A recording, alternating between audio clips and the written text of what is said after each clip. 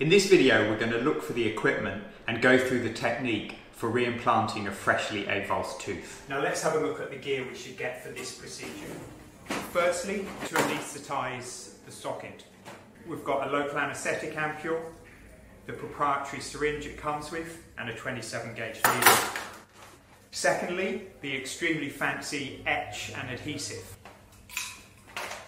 One little tube of dental restorative and the proprietary gun it comes with.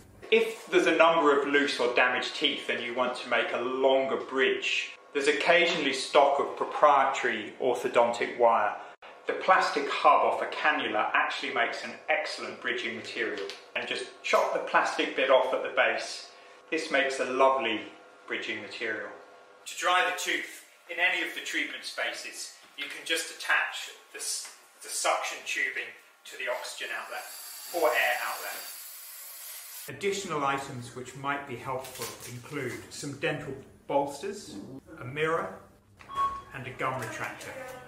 Okay guys, and the last thing we need is the UV pen, which is hidden on the fridge in the room. It has three buttons to confuse you, but you only need to press the top button labelled P.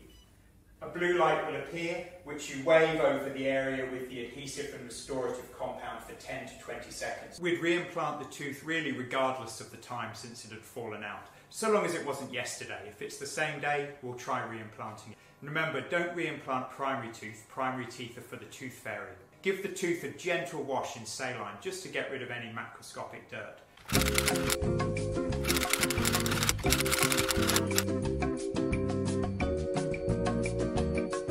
First, let's anaesthetise the socket. First injection on the buccal side, putting the needle in right at the top of the sulcus and injecting one to one and a half mils of local anaesthetic. The second injection is on the palatal side.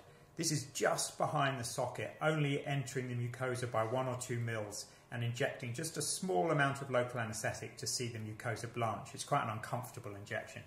When you replace the tooth, remember to get the tooth in the right orientation so that the front of the tooth is facing forwards rather than backwards. Push the tooth in until it aligns nicely with its neighbours. Using the etch and adhesive is a little bit tricky. It's a two-part chemical that needs to be mixed for it to be activated. Squeeze the large compartment into the middle one. Fold it over 90 degrees.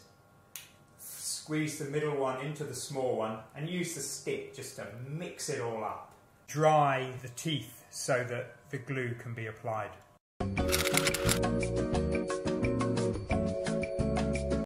In this case, we're going to use the restorative compound itself as a bridge as the neighbouring teeth are in good condition. Get the etching adhesive material on the pink stick and apply it to the areas where you want the restorative compound to sit. 10 to 20 seconds with the UV pen will cure the adhesive. Get the restorative compound and place it over the areas where you had applied the etch and adhesive.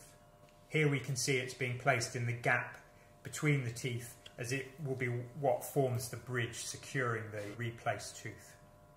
You can shape it either with your fingers or with an, an implement such as a pair of tweezers. You want to just make sure there are no sharp edges. A further zap with the UV light will set the restorative compound a finished job.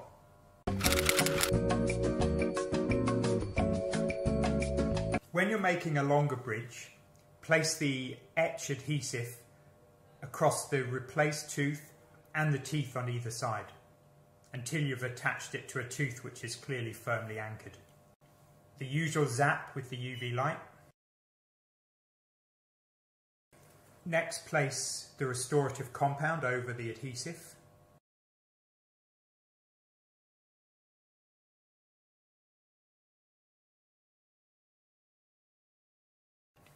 Now comes the fiddly bit, trying to get the bridge to sit nicely in the adhesive.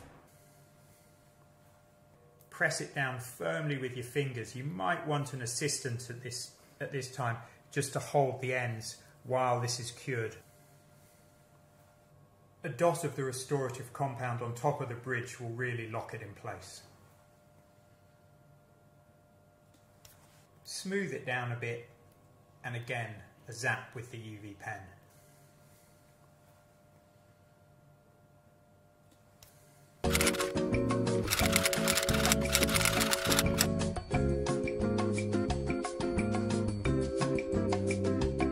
That looks pretty stable now.